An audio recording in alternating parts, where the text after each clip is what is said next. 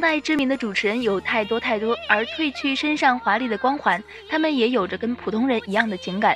郑州电视台知名美女主持人邱媛媛，声音甜美，长相漂亮，本来可以在事业上大放光彩，上天却要跟她开个玩笑。邱媛媛本来是山东临沂人，为了爱情来到河南。男友张琪轩也是一名主持人，两人可以说是郎才女貌。参加工作没多久，就选择了结婚生子。然而，邱媛媛怀孕没多久，竟然查出了癌症，灾祸如同晴天霹雳一般降临在这个幸福的小家庭当中。原本邱媛媛主动配合治疗的话，还是有一线生机的，可她却要坚持把孩子生下来，放弃化疗。于是，孩子出生刚满百天，她就不幸离世。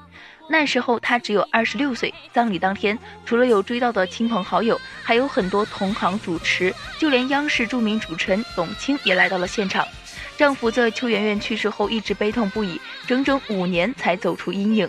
现在为了孩子有了健全的家庭再娶娇妻，毕竟逝者已逝，活着的人还是应该往前看。明明知道自己患了癌症，不及时治疗就命不久矣，还是执意选择用自己的生命换取孩子的生命。他没有剥夺孩子生的权利，母爱如水，延绵不绝。我想大概就是这个样子吧。欢迎大家收看本期精彩节目，喜欢就加个关注吧，小编每天都在更新哦。